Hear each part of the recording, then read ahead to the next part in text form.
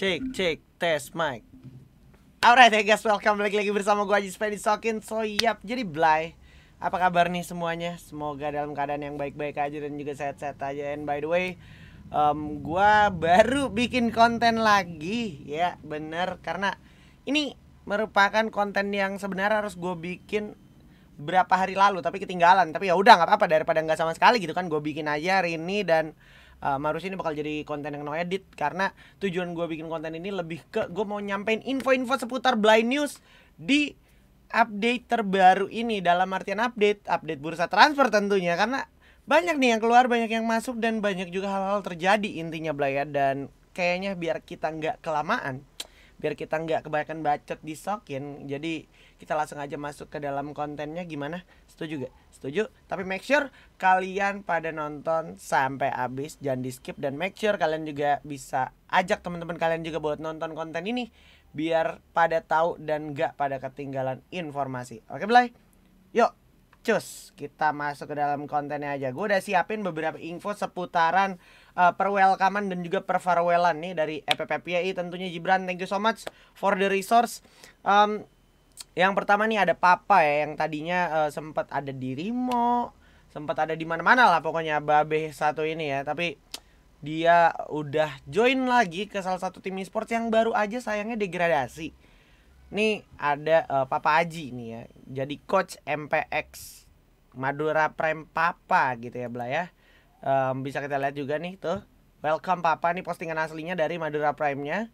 Jadi semoga ya kan bukan semoga lagi nih dengan um, masuk ke Papa nih gue lihat-lihat hasilnya anak-anak MPX lolos ke play-ins. Jadi anak-anak MPX masih bisa ibaratnya membuktikan sesuatu lah nanti di FFVM gitu ya Bla ya dan Next, um, ini juga masih menjadi salah satu hal yang gue tunggu juga. Another story is ini dia. Nah, bukan cuman coachnya doang yang baru, tapi ada juga teman-teman yang baru masuk juga. Contohnya Tiger sama Ikam. Ikam kita tahu tuh tadinya DG ya, DG uh, Farewell hilang terus masuk ke sini ke MPX. Terus Tiger ini tadinya itu adalah uh, anak Jet gue inget banget dia anak JT Sport tapi sebelum itu lagi kalau boleh uh, di notice juga dia merupakan player dari Inastar gitu ya Inastar Mix kalau nggak salah ya ini si Tiger ini salah satu player yang emang berbakat juga. Gue lihat dari lama udah lama juga. Ya akhirnya terbukti lah dia masuk e-sports dan bisa dibilang permainannya luar biasa juga. Ada yang nonton nggak kemarin tuh di final grup permainan dari Madura Prime. Ini bener-bener intens banget gitu ya. Sengit banget persaingannya tuh. Cuman beda uh, dikit banget poinnya ya kan ada tanggapan nggak dari kalian sendiri untuk uh, teman-teman yang baru masuk ke Madura Prime? Coba kasih pendapat kalian di kolom komentar biar nanti gue bisa simak juga gitu Blay. Nah um, kita langsung next saja kita bikin konten ini sesingkat mungkin dan juga kalau bisa no edit gitu ya Blay ya. Bukan gue malas ngedit enggak tapi lebih ke biar informasinya biar nggak pada miss aja gitu. Next. Nah ini ini ada juga Nuting yang kemarin farewell akhirnya ini dengan satu dan lain hal dan juga eh, hal-hal uh, yang sangat disayangkan beberapa kayak menurut gua Nuting masih layak main menurut gua Nuting masih layak berkompetitif tapi tiba-tiba dia farewell gini ya gua nggak tahu ada apa juga gitu. Kayak gua sangat menyayangkan lah intinya lah karena menurut gua Nuting ini salah satu player yang masih bisa uh, berkembang terus di usianya yang masih 20 apa 22 ya? Lupa gue nuting ini usianya berapa gitu karena waktu terakhir gue ngobrol waktu dia masih di boom ya intinya dia masih jadi anak muda yang gue lihat masa depannya masih bakal panjang lah di pro player ini. Tapi ya udah good luck lah pokoknya buat nuting setelah farewell dari Madura Prime. Semoga kalau andainya masih lanjut di prosin ya membanggakan gitu dalam artian dari segi prestasi dan juga di tim barunya gitu Blay. Menurut kalian sendiri seperti apa sih seorang nuting nih di kancah pro player? Apa dia masih kurang apa gimana gitu? Bisa juga kalian berpendapat dan sampaikan di kolom komentar Blay. Oke okay? next nih kita bisa langsung next aja. Ada juga info baru. Nah ini ini uh, salah satu info yang gue lumayan excited gitu. Kenapa? Karena uh, eh, BFD ini ngambil uh, 666 bank atau Cibeng gitu ya. Ini Cibeng ini player yang gak asing kalau kalian adalah player komunitas gitu. Karena gue aja kemarin pas turnamen offline Depok gue masih lihat dia juga. Dulu gue pernah datang ke Depok juga gue lihat dia juga gitu. Jadi dia nih uh, circle circleannya Sipit dan kawan-kawan Depok lah pokoknya lah ya. Uh, circle-circleannya Servus gitu ya kan. Nah di sekitaran lingkup Depok itu Cibeng nih eksis lah gitu. Depok Bekasi pokoknya sekitarnya Cibeng ini udah nggak asing lah pokoknya. Dan direkrut sama Bonafide nice move banget menurut gua karena bocah ini juga lumayan berbakat gitu menurut gua. Dan um, ke depannya seperti apa kita doakan saja lah yang terbaik untuk Bonafide gitu. Nah kalian sendiri kira-kira ngelihat Cibeng ini uh, sosok bocah yang seperti apa gitu? Bocah dalam artian uh, bocah berbakat kah apa? Bocah yang uh, seperti apa gitu? Coba sampaikan dong pendapat kalian di kolom komentar karena gue juga perlu tahu nih uh, insight-insight dari kalian. Siapa tahu kalian punya pendapat dan juga masukan gitu Blay. Next. Kita bakal bawain lagi berita masih nih. Pokoknya semuanya kita kita bungkus dari Gibran aja ya karena uh, sejauh ini Gibran juga masih tetap update juga. Jadi lanjut ada lagi dari Bonafide juga Zabu. Zabu ini juga satu lagi anak yang kemarin abis sempat ke Piala Presiden. Kalau gua nggak salah ingat waktu sama Galaxio ya. Tapi gua nggak tahu kenapa dia cabut dari Galaxio. Uh, karena gimana gimana ya gua nggak tahu. Tapi kalau ada yang tahu boleh banget nih. Sampaikan di kolom komentar gitu Blay. Dan gua ngelihat uh, dia di Bonafide ini tambah tadi sama Cibeng ini harusnya bakal jadi uh, vibes baru gitu untuk teman-teman dari Bonafide karena kan uh, Bonafide juga si Rehan udah cabut ya. Rehan udah cabut Bonafide berarti Ren kalau nggak salah kemarin ke Kings dan ini kayaknya nanti ada juga infonya gue bawain juga gitu. Zabu ini salah satu player potensial juga yang ini kalau gue nggak salah ya ini Zabu yang ada di Indostar juga. Cuman kalau gue salah tolong koreksi juga ya Bla ya. Siapa tahu namanya manusia miss gitu karena gue pernah ingat ada nama bocah Ina Zabu. Nah ini bocahnya nih setahu gue dia gitu. Jadi good luck lah untuk Zabu sendiri gitu ya kan semoga mantap lah sama Bonafide-nya gitu. Ada pendapat mungkin kalau dari player-player atau teman-teman yang nonton Blay-Blay? Let's go sampaikan aja. Kita bakal lanjut lagi ke pembahasan-pembahasan selanjutnya Blay. Let's go. Nah, ini dia nih ya yang nggak kalah serunya. Ada Fearless, yoi. Aduh. Gua kalau ngelihat anak ini kalau ngelihat aduh. Jadi flashback gue. Kenapa flashback? Karena uh, ini kan bocah yang pernah sempat ini ya sempat bermain di Boss Nightmare juga dan gue dulu tuh zaman zaman Boss Nightmare zaman zaman Boss Esport gue lumayan sering tuh mampir mampir ke GH ngobrol-ngobrol bercanda-bercanda ke warkop sama anak ini. Bahkan gue pernah juga ngalamin motor mogok gitu motor mogok. Gue dorong gitu sama bocah ini gitu motor gue tuh yang beat itu gitu. Jadi ya gue berharap semoga Fearless ini bisa membuktikan lagi lah kalau dia masih layak gitu di panggung kompetitif walaupun emang kemarin yang sama Bos Nightmare kurang maksimal hasilnya kurang bersinar ya nggak apa-apa. Buat pelajaran aja. Kalian sendiri nih sepertinya pada kayak gimana gitu ya kan? Karena gue yakin nggak banyak dari kalian yang notice teman-teman yang nonton kompetitif nih nggak banyak yang notice gitu player-player kayak model si Fearless ini gitu. Jadi sepertinya gue nggak heran kalau misalkan kalian bingung ini siapa nih siapa? gitu. Enggak harapan gue semoga ya itu ya. Semoga dia bisa membuktikan lah. Dan untuk teman-teman coba dukung aja siapa pun itu yang baru berkancah. Atau misalkan kalian punya temen yang jago ya tetap support aja gitu Blay. Ini karena kalau gue sama Fearless ini agak ada bisa dibilang hubungan emosional lah. Dia anak baik juga dan fun fact adalah salah satu anak yang paling alim juga. Buset deh gue kalau begadang malam-malam gitu kan dia tiba-tiba bangun dari tidurnya sholat duha anjir. Tergetar hati abang dek waktu itu dek. Aduh mantap. Dani lanjutkan Dani ya. Good luck Dani pokoknya. Next kita bakal bawain lagi ya. Bawain berita nih ya berita dari uh, eh, MBR MBR sayang banget harus melepas predatornya. Dan gue dengar dengar ini kontraknya sebenarnya masih lama tapi di buyout gue dengar dengar gitu ya.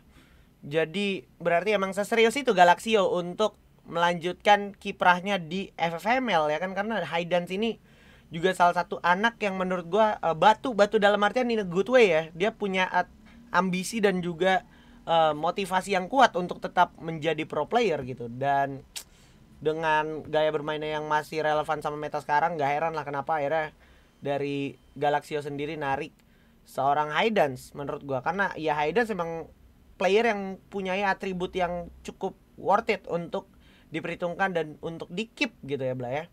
Dan untuk MBR sendiri gua nggak nggak melihat mereka gimana gimana juga. Karena kan kondisinya emang MBR divisi 2 gitu lah ya. Jadi uh, baru turun divisi 2 terus juga kayak hasilnya kurang uh, maksimal.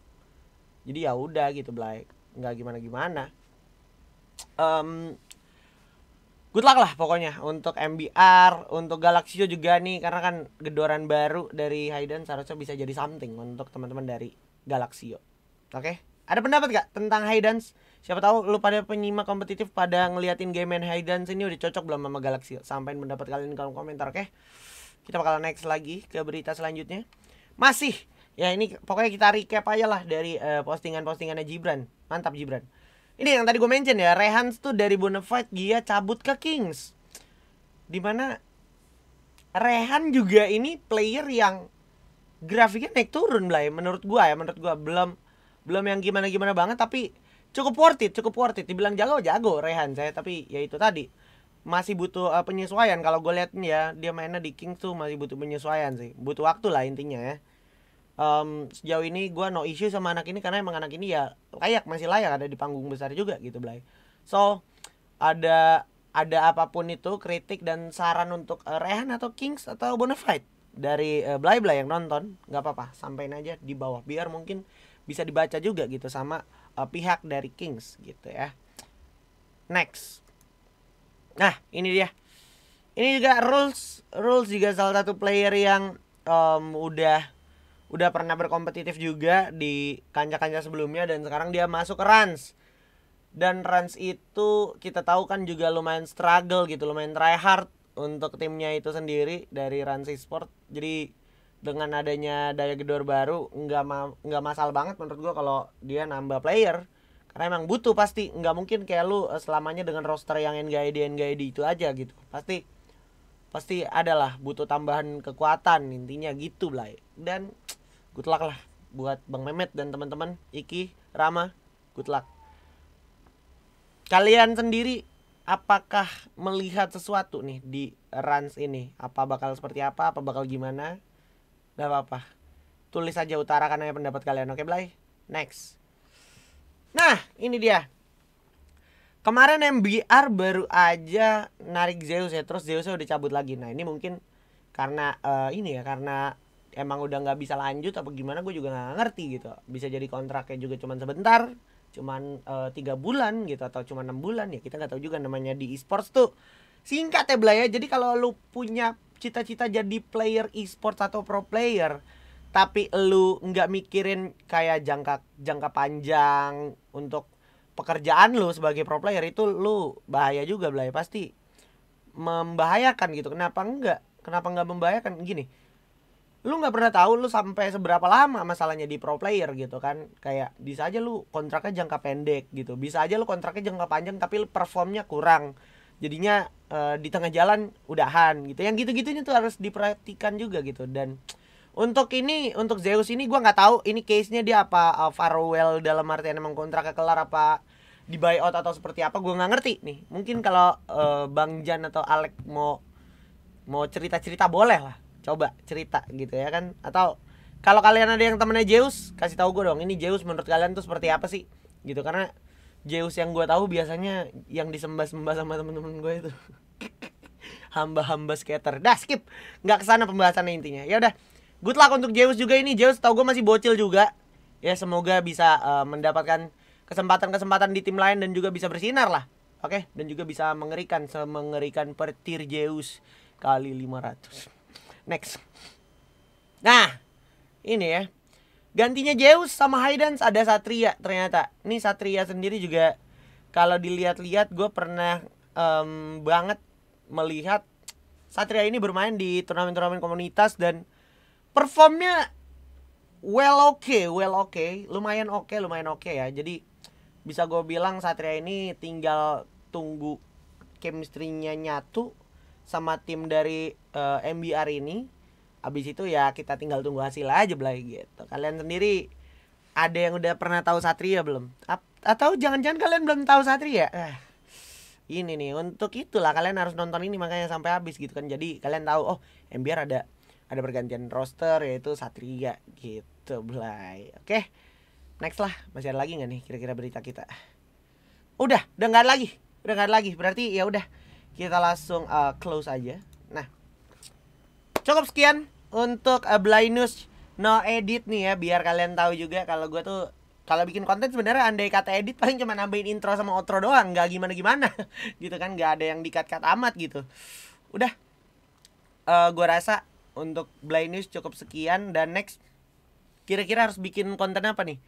Uh, gini ya banyak banget yang nanyain konten FFWS bahas FFWS bahas FFWS ntar dulu mohon maaf nih FWS aja di beberapa bagian kayak Brazil, kayak mana, kayak Thailand, kayak Vietnam juga itu belum ada kelar-kelar amat gitu lah. Jadi tolonglah tunggu dulu, sabar dulu, sabar dulu gitu ya kan. Gue juga pengen bahas. Tapi apa kalau emang diperlukan untuk ngebahas mekanismenya FFWS, ya boleh nanti gue coba buatin kontennya gitu ya kan. Dan untuk pembahasan timnya, eh, review rotasi atau kayak uh, bahas drop zone ya nanti lagi. Itu gampang lah. Jadi gue butuh banget input dan juga masukan-masukan dari kalian untuk komen di bawah sini ya kan? Dan sampaikan kira-kira pendapat kalian tuh tentang konten gue gimana dan harus bikin apa lagi gue nextnya gitu lah oke? Okay? akhir kata cukup sekian aja pokoknya untuk konten gue kali ini. Semoga yang nonton sampai habis bisa selalu uh, diberikan kesehatan dan juga kelancaran segala urusannya. Dan jangan lupa lupa ya untuk uh, di share dibantuin juga guanya gitu disupport juga guanya biar teman-teman lu yang belum nonton konten gue bisa nonton konten gue dan tahu uh, seputaran-seputaran Free Fire dari konten gue berkat kalian gitu yang pada nge-share dan juga nonton sampai habis. Oke, okay? thank you so much. Respect pokoknya buat kalian semua lah, buat Blay Blay juga yang selalu nontonin gue dan selalu nunggu-nunggu konten gue. Thank you banget. Kamsya, kamsya, kamsya pokoknya ya. Gua Ajis fan di sini. Mohon maaf kalau baik salah-salah kata. Sampai bertemu di konten-konten selanjutnya. Hasta la vista.